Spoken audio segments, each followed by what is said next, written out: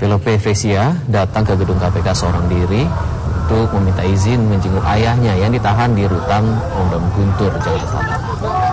Aktris cantik itu mengaku tidak membawakan barang apa pun untuk OCK Ligis.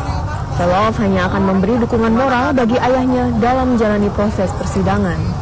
OCK Ligis ditetapkan sebagai tersangka kasus dugaan suap kepada tiga hakim dan seorang panitia PT UN Medan. Bersama OCK Ligis, KPK juga menetapkan tujuh orang lainnya sebagai tersangka.